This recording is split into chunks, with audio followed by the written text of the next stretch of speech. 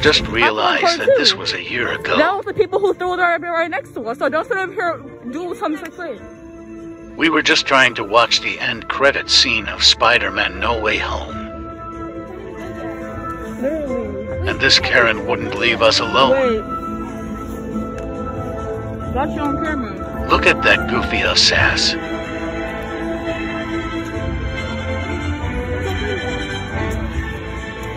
Yeah, I don't care. Bye.